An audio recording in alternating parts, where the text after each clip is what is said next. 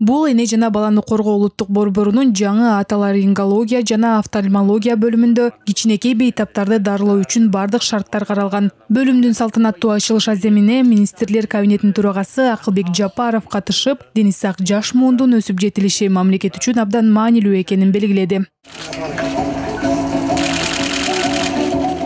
Бала бакыт кубанычыбыз келечегибиз алардын ден соолугуна кам көрүү улуу муундун милдети ушул ооруканага былтыр капсула салынган. Бир жылда жаркыратып бүтүрүштү. Тагыраагы балдарыбыздын ден соолугуна кам көргөн жакшынакай дүйнөлүк стандарттарга жооп берген. Операцияларды ушул жерден жасай турган залдарды аппараттары бар заманбап ооруканага ээ болуп жатабыз. Эми элибизге көп кызмат кылсын дейли.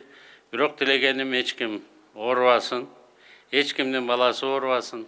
Баарыңыздарды мекенибизге түшкөн дагы бир заманбап ооруканабыз менен куттуктайм имараттын аянты үч миң эки жүз токсон үч чарчы метрди түзүп беш кабаттан турат бейтапкананын биринчи кабатында бөбөктөргө диагноз коюлса экинчи кабатында көз ооруларын текшерүүгө шарттар түзүлгөн ал эми үчүнчү кабаты кулак мурун оорулары үчүн төртүнчү кабаты операция жасоого ылайыкталган данный корпус рассчитан на два отделения по двадцать аталган корпус жалпысынан кырк орунга ылайыкталган. Өзүңүздөргө белгилүү болгондой республика боюнча аталарингология жана офтальмология бөлүмдөрү жок. Биз эми республиканын баардык аймактарынан оор акыбалда келген бөбөктөрдү ыкчам түрдө кабыл алганга мүмкүнчүлүгүбүз бар. Ошондой эле бизде эми баланын канчалык деңгээлде угулсун текшерүү үчүн аудиология бөлмөсү каралган заманбап медициналык технологияларды жаңы ыкмаларды колдонуу менен сапаттуу медициналык кызматты өнүктүрүүгө жана муктаж болгон ар бир балага анын өмүрү үчүн болгон күрөштө колдон келген жардамды көрсөтүүгө милдеттүүбүз дейт саламаттык сактоо министри гүлнара баатырова. Анын айтымында бул аракеттер ооруларды эрте аныктап сапаттуу дарылоого өбөлгө болот.